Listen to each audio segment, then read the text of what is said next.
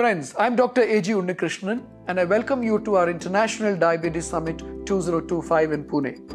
One of the highlights of this summit will be point of view sessions.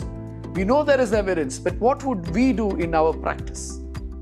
For example, if you look at the UK evidence with diabetes remission, Dr. Roy Taylor's group, they achieved a sudden drastic weight loss and diabetes remission by a startling reduction in caloric intake. From 2000 or 3000 calories, patients were suddenly taking 800 calories. And that is running contrary to our general notion of gradual weight loss. Here, a sudden weight loss was achieved, and this was achieved through meal replacement therapies. As a result, there are lots of meal replacement therapies in India and the world.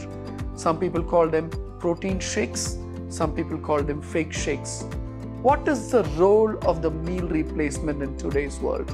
When should they be used? How should they be used? How can they help our patients? When should they not be used? To know about all this, attend the Chellaram Diabetes Institute's International Diabetes Summit 2025 between 7th to 9th March at the JW Marriott. See you there.